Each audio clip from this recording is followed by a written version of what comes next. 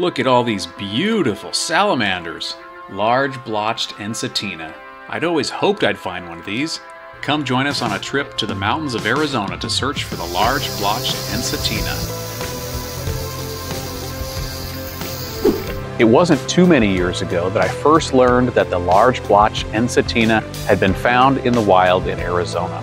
Now, Arizona already is native to the Arizona tiger salamander and the Sonoran tiger salamander. But the large blotch Ensatina is native to Southern California. So the question is, how did it get here? According to reports, sometime around 1980, 22 large blotched Ensatina from the mountains of Southern California, Palomar Mountain, were released illegally in Arizona. Now, several decades later, it's been discovered that this population is now successfully reproducing in the wild in Arizona.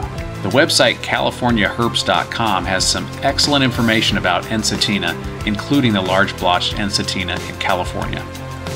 It shows some of the typical pattern variations that are commonly found in Southern California. You can see on this map, in the dark blue area, the known range of the large blotched Ensatina in California.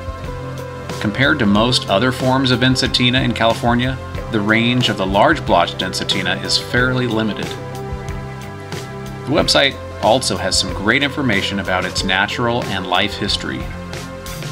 Scrolling down further, you can see a larger map that also shows that the large blotched Ensatina can be found in parts of northern Baja California, Mexico.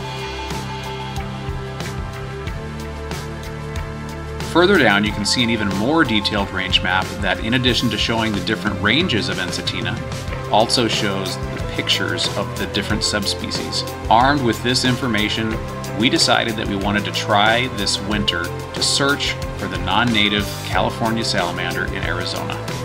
We arrived at our chosen location late in the afternoon. There wasn't much daylight left.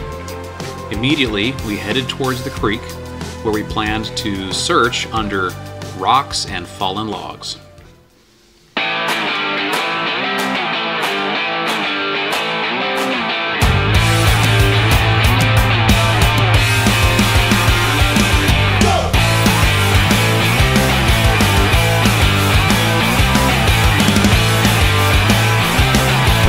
Found one! Jason found our first large blotched Ensatina. Take a look at that, under this rock. Isn't it beautiful? One interesting thing about these salamanders is that they breathe through their skin rather than through lungs. Because of this, they need to live in damp, humid areas to keep their skin moist.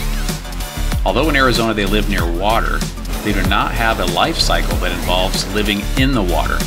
Their eggs are laid in a damp place on land and hatch into fully formed salamanders, skipping the water dog stage or the larval stage like some other salamanders. We're going to go ahead and let this guy go and see if we can find any more. While looking around, we notice that there's still some snow in some of the shaded areas. The air is still quite cool up here.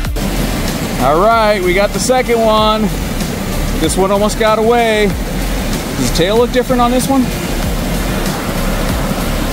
Yeah. It just so turns out that the males of this species have longer and thinner tails, while the females shorter and thicker tails. So the first salamander that we found was probably a male, while this one is more likely a female. We found our third Ensatina under this rock right here. This was the first that I flipped.